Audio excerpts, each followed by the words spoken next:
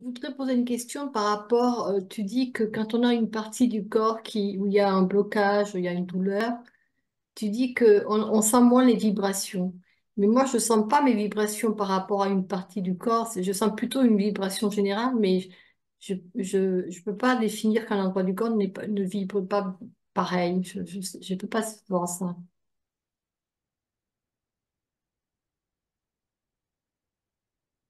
Quand on écoute une partie du corps, quelle qu'elle soit, on, on laisse complètement s'éveiller sa sensibilité.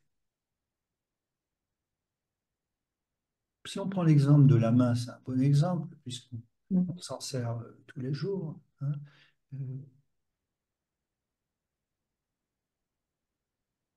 on va laisser sa sensation s'éveiller, sa sensation globale, c'est-à-dire permettre à se révéler la sensation de la main avant qu'il y ait la moindre intention de prendre ou de saisir. Donc on va faire connaissance ainsi avec l'état naturel de cette partie du corps. Donc quand on, écoute une partie du corps, on laisse complètement s'éveiller sa sensibilité et au bout d'un moment, on va sentir qu'il y a une forme de, de musique, une forme de, de sonorité à cette partie du corps. Et, mais cette sonorité, elle est délicate, elle est subtile, et elle ne peut pas se révéler euh, si cette partie du corps est chargée d'intention.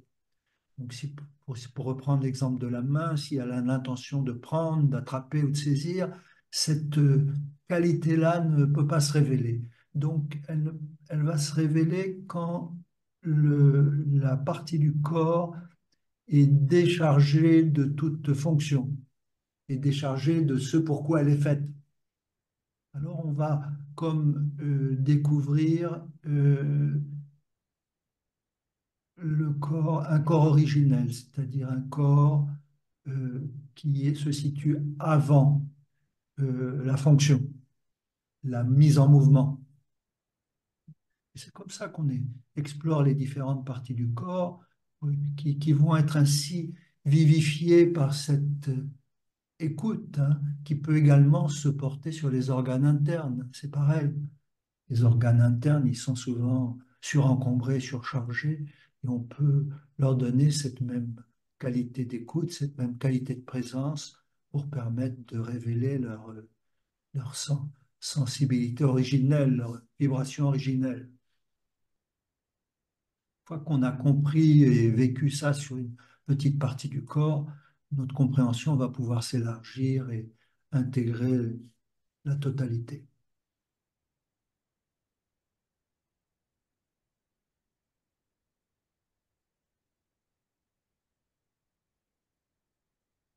y compris avec la structure cérébrale. C'est vrai qu'on n'a pas souvent l'habitude d'écouter la structure cérébrale, mais c'est aussi une structure vibratoire, vivante, sensorielle. hein.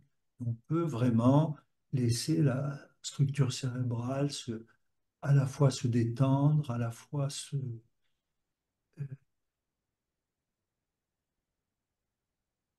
révéler sa vibration lorsque les tensions qui l'encombrent s'éliminent. La structure cérébrale est souvent surchargée parce qu'on est enfermé dans une suractivité mentale.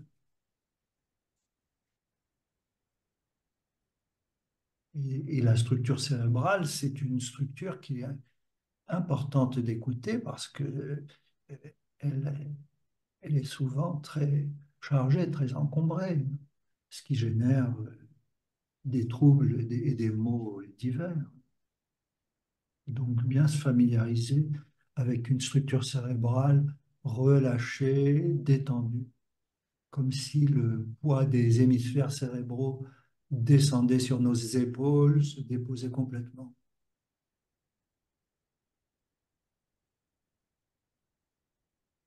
Pareil avec la structure oculaire qui est très liée à la structure cérébrale, la laisser se déposer en direction du sol, comme si on voulait sous-peser le poids des globes oculaires. Comme ça, la structure petit à petit se vide de ses, de ses charges, de sa surcharge.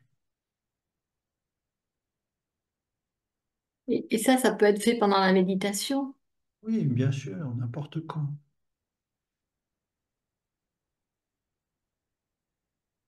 Temps de contemplation silencieuse, évidemment, sont, sont facilitateurs dans la mesure où il n'y a pas d'activité particulière, il n'y a rien à faire hormis le, le simple fait d'être présent. Mm.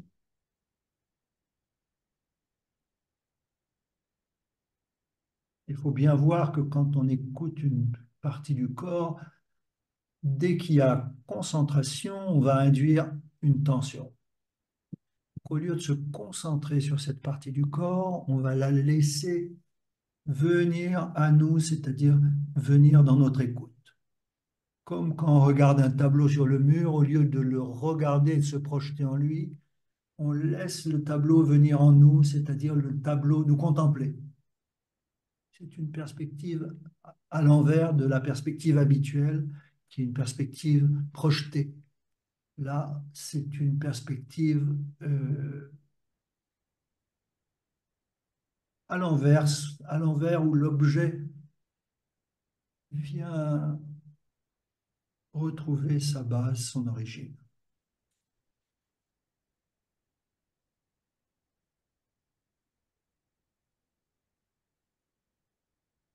Toute perception, toute sensation peut être utilisée à ce niveau-là comme un pointeur direct vers l'immobilité du silence.